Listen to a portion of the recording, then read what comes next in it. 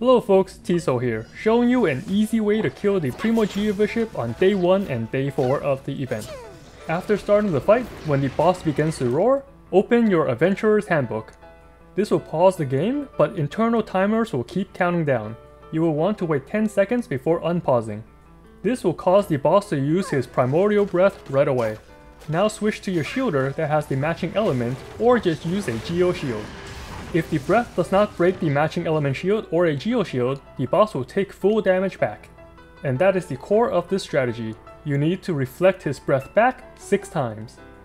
Once you see him get knocked back and his health go down, pause again. The shortcut to open this book on PC is F1. After each breath, you want to wait 20 seconds. I have a stopwatch on the side that I'm using to keep track of time. Now the boss is infused with Cryo, so I'll have Diona use the shield. Cryo and Hydro is a little hard to tell apart at first, but if it looks white, then it's Cryo. If it looks blue, then it's Hydro. Once the boss recoils, I pause again and wait 20 seconds. For the shielders, you can use Diona, Beidou, Xinyan, Noelle, or Zhongli. Noelle and Zhongli can sub into any element, but the other three will have to match the same element as the boss. When I'm not pausing, I will be attacking the boss to drain his health a little bit because after reflecting 6 times, the boss will still have a little bit of health left that you need to take down yourself. However, you do not want to over damage the boss.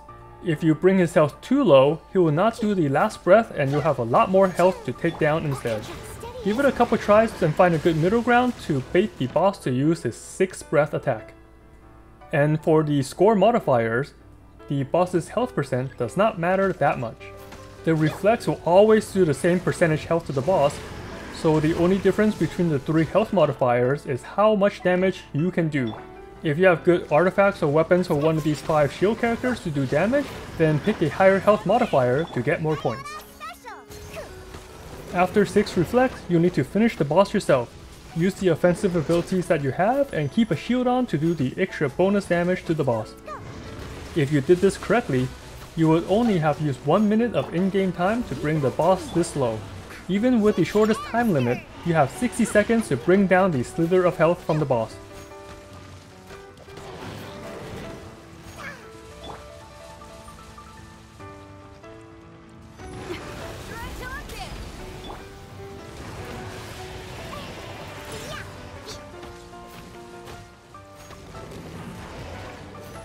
And this kill got me 4700 points. Now let's look at the setup and team.